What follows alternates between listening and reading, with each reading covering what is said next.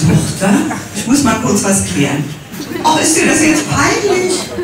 Sag mal, denkst du eigentlich nur über dein Alter nach? Legst du dir was weg? Zu Erden gibt's nichts, bei Katzen, wie du weißt, ja? Also, spar schön, dann ist die Mama zufrieden. Damit Ihre Mutter Sie nicht überrascht, machen Sie jetzt die Sparkassen Altersvorsorge.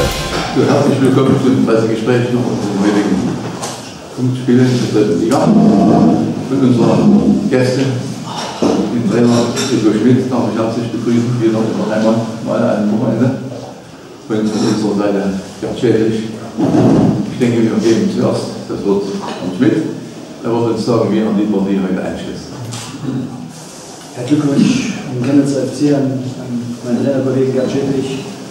So spielt man zu Hause Fußball, vor allem in der ersten Halbzeit. Äh, wir hatten große Sorgen, über Zugriff zu bekommen, Struktur zu bekommen in der Defensive mit dem beweglichen Spiel äh, der Chemnitzer. Offensiv haben wir fast nicht stattgefunden. Mit den Wechseln äh, zur Halbzeit, in der zweiten Halbzeit, haben wir das Spiel ein Stück weit offener gestalten können. Hatten dann auch eine Phase, wo wir da dran waren, am Drücker waren, äh, auch nach vorne zu spielen. Chemnitzer Chancenübergewicht verdient gewonnen, keine Frage. Es keine Diskussion. Äh, vielleicht eine Randbewegung bemerken, trotzdem, wir sind in einer schwierigen, in einer kritischen Situation, wir müssen immer den Blick nach hinten äh, nehmen. Ähm, dass ein Spieler wie Jan Washausen, der jetzt unserem Spieler Spiel der letzten Wochen Stabilität mit Nikolas Feldheim im Zentralmittelfeld äh, gegeben hat, nicht spielen konnte, aufgrund, dass äh, er nicht spielberechtigt ist.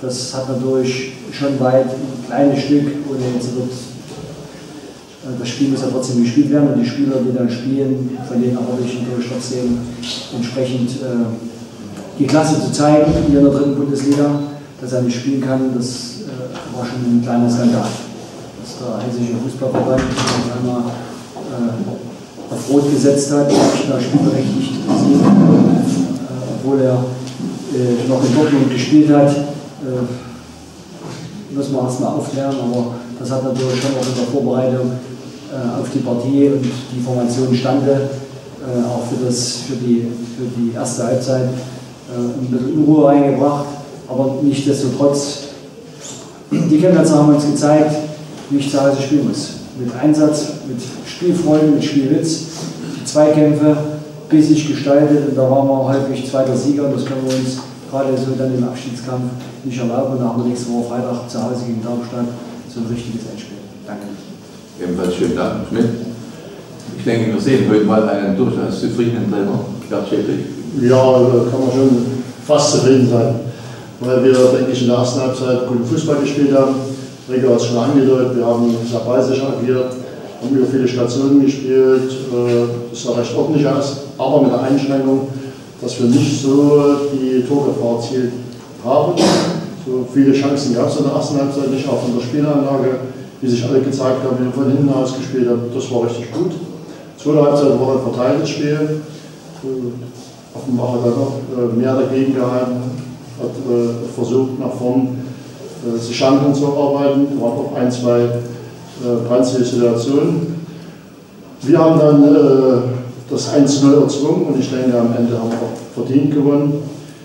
Ich bin erstmal froh, dass wir diese drei Punkte eingefahren haben und vor allen Dingen, dass wir diese kritische personelle Situation so gut gemeistert haben. Sicherlich auf Dauer äh, geht das nicht, das habe ich auch der Mannschaft äh, vom Spiel gesagt, aber kurzzeitig kann man mal äh, solche Dinge äh, kompensieren und das muss ich sagen, hat die Mannschaft sehr gut gemacht. Dankeschön, Herr Schädlich. So, Sie haben bestimmt Fragen zum Spiel, bitte.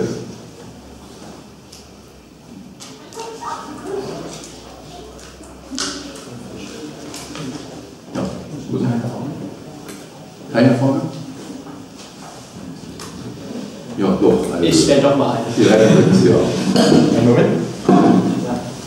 Schmidt, Sie hatten das eben mit dem Jan Wasshausen so ein bisschen angedeutet. Können Sie das noch ein bisschen konkretisieren, was da genau jetzt vorgefallen ist? Ja, äh, erstmal die Mannschaft hat, trotz dass wir letzte Woche zu Hause eigentlich verloren haben, äh, eine gewisse Stabilität, Grundstabilität, auch was äh, die Formation betrifft, äh, sich erarbeitet. Und da war klar, Wasserhausen Feldkamp spielt auch heute wieder das defensive Mittelfeld, um noch die Offensive der offensive starken Spieler ein Stück weit aufzunehmen. Äh, wo Danilo Landrut, unser Teamorganisator, äh, der das Formular macht, äh, ihn einklicken wollte, ging es nicht. Ähm, war auf Rot gesetzt, also Rot gesetzt heißt, er ist nicht spielberechtigt. Das liegt wohl am hessischen Verband. Und damit war natürlich kurzfristig erstmal äh, neu sortieren, neu aufsetzen, hat aber jetzt trotzdem nur mittelbar, mittelbar was zu tun, aber es hat schon einen kleinen Knick gegeben, dass wir da erstmal von der Formation schon weg. Ja, aber so nachvollziehbar ist es doch jetzt. Für mich nicht nachvollziehbar, das ist ein Skandal. Ja, dass ich auf einen Spieler jetzt verzichten muss, der äh, klar spielberechtigt ist, er hat immer mit Dortmund gespielt und also nicht mehr. Ich kann mich jetzt nicht erinnern, dass wir Donnerstag, Freitag äh, irgendwo, dass er eine rote Karte sich hat. Ja, Michel hat mit ich denke, das Problem bleibt erstmal für, für Müssen wir auch Montag klären. Das können wir heute nicht klären. Gut, wenn das alles war, dann bedanke ich mich vielmals für. Ich wünsche Ihnen allen ein schönes Wochenende und unsere Gäste mit einmal für die nächsten Spiele. Für uns.